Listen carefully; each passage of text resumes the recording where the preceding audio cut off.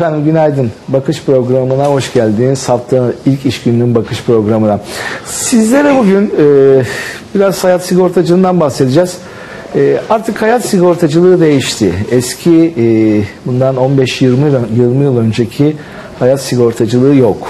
Malum eskiden e, işte ölüm olduğunda yakınlarına tazminat ödeyen bir sistem vardı. Biraz daha kısır bir sistemdi ve e, o dönemler yani bundan 20-25 yıl önce de ciddi sıkıntılar yaşandı. Ama aradan çok yol kat edildi ve artık e, hayat sigortacılığı dediğim sistem farklı boyutlara geldi. Bugün e, kritik hastalıklar başta kanser olmak üzere kritik hastalıkları içeren yeni ürünler çıkarıldı. E, tabii bankaların kredi verirken e, yaptırdıkları hayat sigortaları bir ayrı bir olay.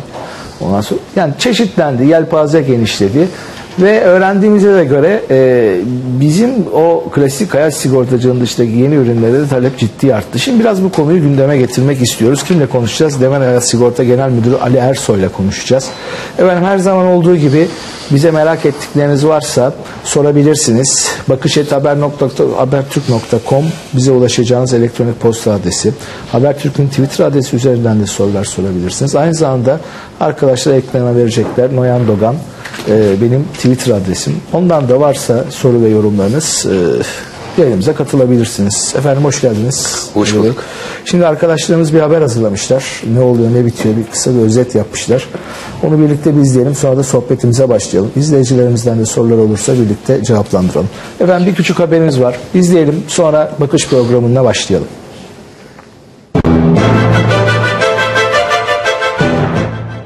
Sigorta sektörünün reel olarak büyüdüğü Haziran 2015 sonunda teknik karı 53 milyon lira, bilanço karı ise 230 milyon lira oldu.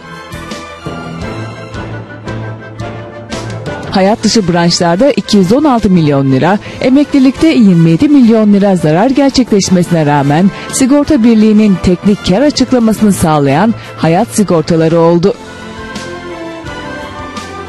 Hayat branşındaki 296 milyon liralık kar 87 milyar lira aktif büyüklüğü olan sigorta sektörünü rahatlattı. 2015'in ilk 6 ayında 9.4 milyar lira zarar karşılayan Türk sigorta sektörü, oto sigortalarında 4.7 milyar lira, oto dışı branşlarda 3.6 milyar lira, hayat sigortalarında 1.1 milyar lira tazminat ödedi. Hayat sigortalarında ödenen bu tazminatın 391 milyon lirası kredi ile bağlantılı hayat sigortası poliçeleri kapsamında ödendi. Vefat eden 74.620 kişinin varisleri ödeme alarak kredi borcunu ödemekten kurtuldu. Evet efendim özetle durum böyle. Tekrar hoş geldiniz Sayın Ersoy.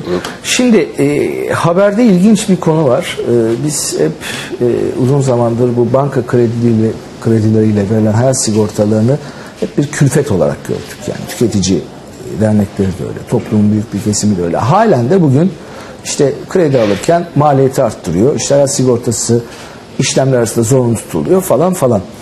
Ama anladığım kadarıyla haberde de dinledik ciddi de bir tazminat ödemişsiniz. Biraz şimdi bize burayı anlatabilir misiniz? Yani ne kadar e, bir işlem var bu banka kredisiyle ve hayat sigortası? Ve asıl benim de merak ettiğim hani bu ödenen tazminat herhalde kişiler öldü ya da vefat etti. Banka borcunu sizler kapattınız. Burayı bize bir özetler Evet. misiniz? Memnuniyetle. Şimdi haberin giriş bölümünde de e, gördük. E, bizim bu Ağustos sonu Türk Sigorta Birliği'nin verilerine göre hayat bölümünde yüzde yirmi üzerinde bir büyüme var. Bunun en büyük payı yine banka kaynaklı kredi hayat sigortalarının artışından kaynaklanmakta. Bunun da esas temeli e, 2015'in birinci trimesindeki yani ilk üç ayda özellikle konut ve oto kredilerindeki artıştan kaynaklanma. Evet, e, Ağustos sonu itibariyle baktığımızda bu hayat bölümünde kredi almış e, müşterilerin vefatından ötürü biz hayat şirketleri veyahut da hayat poliçesi sahibi olanlara 391 milyon TL'lik bir ödeme yapmış gözüküyoruz. Aslında bunun 2000 hani ondan bu yana baktık bakarsak da ciddi bir meblağlar olduğunu göreceğiz. Yani 4.5 milyara yakın bir tazminat ödemesi söz konusu olmuş. Evet bankaların burada kredi riskini biz burada kapatmış gözüküyoruz 391 milyon TL kısmı için. Bu poliçe aslında tüketici kanununda biliyorsun malum yani madde derç edildi. Orada hani zorunlu değildir e, şeklinde bir ifade var. E, bu sanki bir külfet gibi algılanıyor. Zorunlu mudur değil midir? Bir kere onu bir önce tüketiciyle e, paylaşalım. Mevzuatta bu zorunlu değil. Ama hani e, iktisadi düşünen e, müdebbir bir e, insan kendini bunu zorunlu tutmalı. Peki bankalar her krediyi verirken bu sigortayı otomatik olarak hayat sigortasını yaptırıyorlar mı? Kredinin bir e, verme koşulu. Yani siz eğer o kredi almak istiyorsanız o poliçe e, yaptırmak gerekiyor. Ama orada galiba şöyle bir durum var. Ee, yani eğer bir poliçe istemiyorsa kişi, yani ben bankaya gittim, Evet. sigorta, şey kredi aldım. Eğer poliçe istemiyorsam e, risk yüksek olduğu için Prim de artar. Pri- fiiz- faiz de art- faiz artar. oranı da artıyor. Aynen öyle, aynen öyle. ya da Evet. işte bir takım ek şeyler iste- istiyorlar otomatik olarak. Yani Aynen. biraz onu ortaya koymak lazım. Yani bu hani riski düşürdüğü için Şimdi mevzuatta tabii zorunlu değil. Ama e, siz bankacı olarak diyorsunuz ki bunu hani biz koşul olarak koyduk. Ben bunu yaptırmak istemiyorum derseniz tüketici olarak o zaman sizden bir beyan alınıyor. Ve dediğiniz gibi bunun kredi e, maliyeti yeniden hesaplanıyor. Biraz artış söz konusu oluyor. Çünkü o zaman ne oluyor? E, siz kredinin riskini artık kendi banka olarak belirlemiş olduğunuz teminatlara yüklüyorsunuz. Peki şimdi e, mesela Ertan Bey'in şöyle bir sorusu var. E, kanunda şöyle bir madde var mı? Ben e, herhangi bir bankadan kredi, kredi aldığım zaman o bankanın e, sigortasını mı yaptırmak zorundayım? Başka bir e, sigorta şirketinden hayat sigortası yaptırıp poliçeyi teslim edebilir miyim? Evet. Sizin Şimdi bu da bir yasa mı? Kanunla, bağlı- kanuna bağlı mı bu? Bu evet yani e, sigorta kanunun 28. maddesinde bu ifade edilmiştir. Siz e, banka olarak siz hiçbir sigorta şirketinin polisini almaya zorlayamaz. Ama siz tüketici olarak başka e, bir sigorta şirketinin polisini tedarik ettiniz. Onu ibraz ederseniz banka onu kabul etmek durumunda. Sonuçta bu e, bir gereklikse siz tüketiciye belli bir ürünü almaya, belli bir şirketin ürünü almaya zorlayamazsınız. Müezzat buna müsaade etmiyor. Başka bir sigorta şirketten yaptırıp verebilirim. Peki. Ee, Özlem Hanım'ın bir sorusu var. Bankadan hayat sigortası yaptırdığım zaman kredi alırken primi daha mı yüksektir? Başka bir sigorta şirketinden yaptırdığım zaman e, primi daha mı düşüktür? Bir fark var mı Ali Bey? Özetle E, bulunmakta, fark bulunmakta. Ha, öyle mi? Tabii ki. Yani bu e, nasıl ki bugün mesela bir trafik polisisi, bir kasko polisinin e, fix her yerde aynı fiyatı yok ise hayat polisi için de aynı şekilde. Hangisi pahalı? Ee, ya bankada yaptırılan mı pahalı? Dışarıda yaptırılan E, dışarıdan pahalı? hani siz hani e, bir aracı yani bildiğiniz bir aracı sürekli bir müşteri olduğunuz bir yer varsa orası size daha mantıklı daha uygun fiyat verir. Yani Bu 391 milyon nasıl ödediniz? Yani kişi vefat etmiş de e, kişiler vefat etmiş de ailelerine işte çektikleri konut ya da araç kredisinden dolayı siz kapatıyor musunuz tamamıyla? Şimdi bu e, malum e, kredili e, esnasında verilen poliçenin üzerinde e, ilgili bankanın adı derç ediliyor. Buna dahili mürtein diyoruz. O dahili mürtein vasfına sahip olan banka e, yıl içerisinde o tahsilatı yaparken velev ki sigortalının hayatı sonlanmışsa veya herhangi bir şekilde sonlanmışsa o ahvalde adam, alamadığı kredinin geri kalan kısmı için konuşuyoruz. Geri kalan kısmını banka ne yapıyor? O tutarı kendisine alıyor. Ama biz sabit kapitalle eğer yapmışsak azalan makkeli değil de o ahvalde bizim 100 bin lira örnek parazi konuşuyorum bir teminat vermişiz. Ama bankanın da kredisi 50 bin liraya kadar 50 bin lira olmuşsa ve 50 bin liraya inmişse biz 100 bin liranın tamamını ödüyoruz ama 50 bin lirasını bankaya 50 bin lirasını da varislere ödüyoruz. Yani geride kalan kişilere ödüyoruz. Ama azalan bir bakiye yöntemiyle eğer bir poliçe yaptırmışsanız o havale kredi borcu ne kadar kalmışsa o kapanıyor. Peki e, bir iki tane soru var. Onlar da e, yaptırılan hayat sigortası bankaya olan kredi borcunu kapatmak için yeterli mi diyor. Evet mesela bu sorulan bir sorudur. Konut konut satın aldım. E, yani zaten krediyle aldım. Hayat sigortasını zaten yapıyorlar orada hani hiçbir tereddüt yok. E, olası bir vefat durumunda hayat sigorta yapılan hayat sigortasının birim şeyi e, parası tamamıyla konutun e, kredi borcunu kapatıyor mu? Siz orada ne kadar bir kredi almışsınız o riski biz yani bank- gayrimenkulün değerini biz dikkate almayız. Burada sizin almış olduğunuz kredi önemli. Ne kadar kredi almışsanız biz onu kapatırız. Örnek, şimdi siz 1,5 milyon TL'lik bir gayrimenkul aldınız ama bunun 500 bin lirasını kredi kullandınız. O zaman 500 bin lira bir poliçe yaptırdıysanız o zaman siz 500 bin lirayla sınırsınız. 1,5 milyonla bize ilgilendirmiyor. Hı, anladım. Yani kullanılan kredi ama kullanılan kredi meblağ ne kadarsa tamamını bankaya ödüyorsunuz. Aynen Orada herhangi bir, Herhangi bir- ek- muafiyet, eksiltme, Yok. arttırma herhangi bir şey yok. Olmuyor. Peki bu iş sadece vefat mıdır? Hiç hayat sigortasının birikim tarafı yok mudur? Yani tamam bireysel emeklilik var. O ayrı bir case. Onu bir tarafa koyuyorum ama yani hayat sigortası üzerinden de birikim yapmak istesem e, yapamaz mıyım? Yani hiç mi avantajı yok? Beste %25. Hayat sigortası herhangi bir avantajımız yok mu?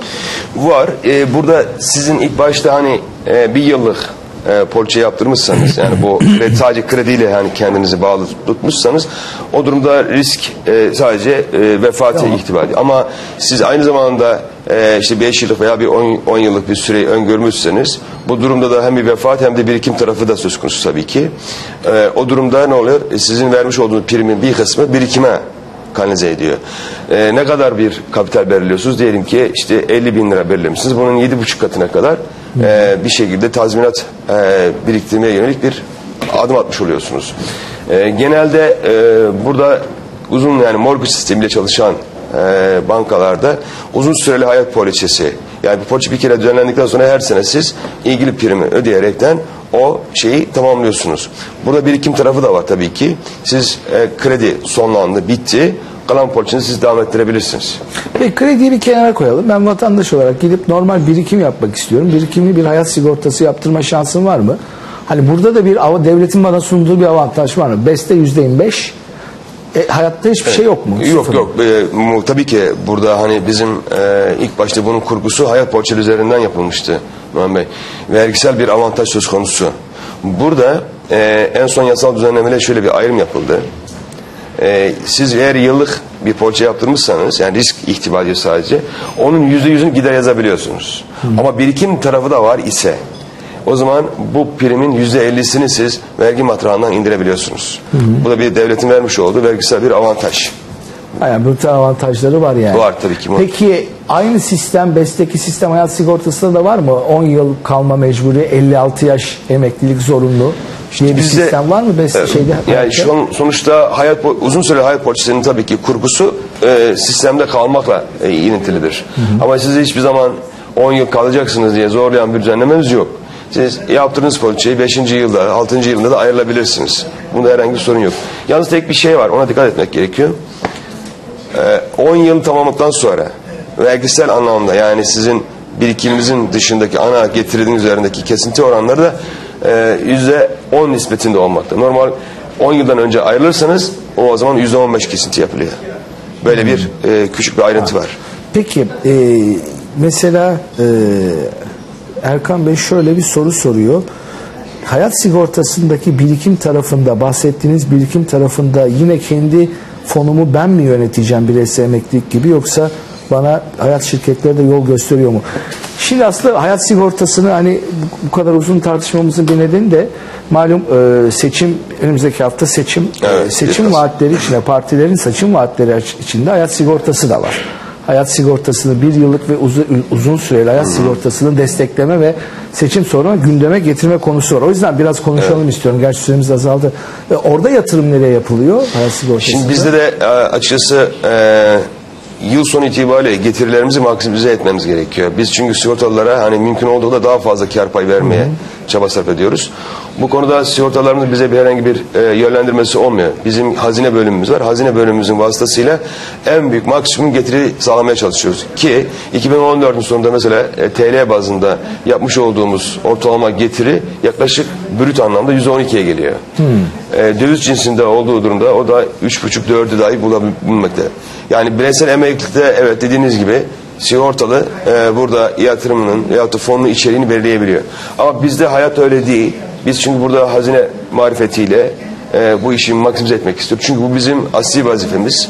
Sonuçta sigorta olarak garanti verdiğimiz bir getiri var. Var mı? Var. Bizde öyle bir olay var. Tabii enflasyonun üzerinde bir getiri vermekle mükellefiz. Yani bunun veremezsek o halde o bizim kendi cebimizden çıkıyor şirket olarak. Anladım. Peki Mutlu Bey bir paylaşımda bulmuş. 75 yaşın e, 75 yaşını aşınca sigorta şirketi ödemiyor. 73 yaşına. Ne demek o? Şimdi bizim 73 yaşında yok mu hayat sigortası? her zaman e, yaşla ilgili herhangi bir sınırlama olmuyor. Fakat Peki. şimdi malum biliyorsunuz e, bütün e, kurgularda 65 yaş diye bir e, sınırlama var, mesela sağlıkta 65'tir. Doğru. Şimdi dolayısıyla burada yaş ilerledikçe sizin hani e, sağlığınızla ilgili takım tabii o zaman 4 ay istemek durumunda kalıyoruz. O zaman risk e, vuku e, bulma ihtimali yakınlaşmış demektir. En son malum biliyorsunuz Dünya e, Sağlık Örgütü'nün de açıklamış olduğu ortalama ömür 82'ye yaklaşmakta. Bu bizim için dikkat çekici bir şey. Bu iyi şeye yaklaştıkça sizin hani e, uzun süreli veyahut da vefat teminatı poliçe almanız biraz e, açıkçası ihtimal azalıyor. Ama kredi almak isterseniz kimse sizi e, yaş anlamda bir sınırlama getirilmiyor. Her yaşta kredi alabilirsiniz. Her yaşta zaman size poliçe yapılır. Peki e, bir dakika ama şu soruyu da sorayım. E, Münevver Hanım sormuş. E, 75 yani yazmış 75 yaşında olsanız bankadan kredi verildiğinde hayat sigortası yapılıyor diyor. Evet, Doğru bak, mudur? tabii Orada ki. bir şey yok yani. Orada herhangi bir- Yani 80 yaşında da bankadan kredi alıyorsam hayat Alabilirsiniz. sigortası yapılıyorsun. Bu tabii bu riski önceden kabul etmek oluyor. Yani artık bir yani e, lades demek gibi bir şey oluyor ama genel anlamda bu kredinin selamet açısından böyle bir hayır demiyoruz. Hepsine evet diyoruz. Peki Ali Bey çok teşekkür ediyoruz yayınımıza katıldığınız Ben için. teşekkür ederim. Ee, dediğiniz gibi konu önemliydi. Paylaştınız. İzleyicilerimizle sorularını yanıt- yanıtladınız. Tekrar teşekkürler. Evet efendim. Hayat sigortasını aldık çünkü e, yayın sırasında da bir ara altını çizdim. E, partilerin seçim vaatleri arasında hayat sigortacılığı birinci sıralarda yer alıyor. Bireysel emeklilikten sonra ve e, özellikle uzun vadeli bir yıl ve uzun vadeli hayat sigortacılığının geliştirileceği ve e, ülkenin ekonomisine ve aynı zamanda sosyal güvenliğe katkı olarak e, katılacağının bir e, belirtisi var partinin seçim beyannamesinde. Biz de dedik ki hayat sigortası nedir? Bir kısaca bugün programda bir özetleyelim dedik seçime bir hafta kala. Pardon yarın aynı saatte tekrar görüşmek üzere efendim. Hoşçakalın.